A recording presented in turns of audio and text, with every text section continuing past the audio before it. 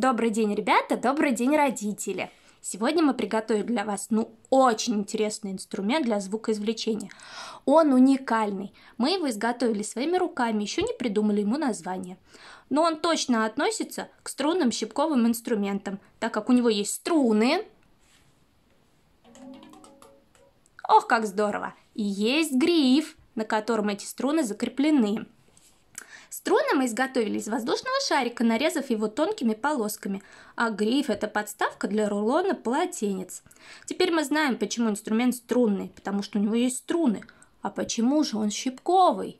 Потому что звук из него извлекается путем защипывания струн пальцами. Покажи, пожалуйста.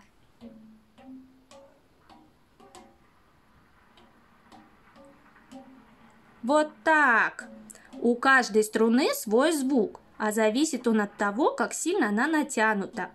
Щипковый инструмент, используемый для звукоизвлечения, не только способствует развитию музыкальности ребенка, но и активно стимулирует работу головного мозга, ведь при защипывании струны пальцами задействуются нервные окончания, которые напрямую связаны с развитием речи нервной системы.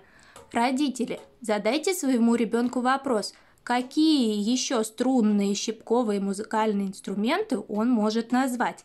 А для вас, ребята, отдельное задание. Придумайте, пожалуйста, название нашему инструменту и напишите его в комментариях под видео. Мы выберем самое интересное и назовем его. На этом все. Спасибо, до свидания.